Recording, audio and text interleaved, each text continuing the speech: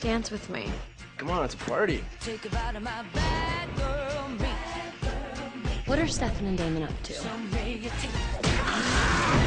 Tonight it ends. The Vampire Diaries. For a longer look at next week's trailer, go to CWTV.com.